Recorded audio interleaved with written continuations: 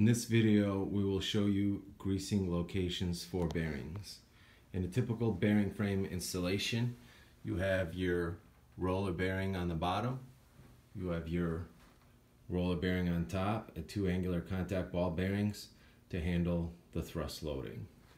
To grease the bottom bearing, you have a grease nipple down here.